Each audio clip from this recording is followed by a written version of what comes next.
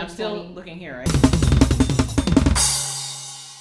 GRIP is actually the brainchild of Michael Fosmire and myself as an effort to bring together all of the different services and resources that we have here at the library.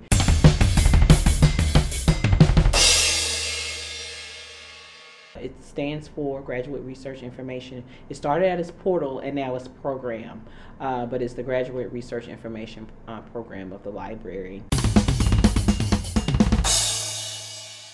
So we actually started out as a website to bring in some of the information that we thought would be suitable um, in the areas of information literacy for graduate students. And from that, we've created workshops and sessions, including uh, citation management. We have a workshop, um, productivity, uh, creating literature reviews uh, and systematic reviews, lots of different types of workshops all over campus.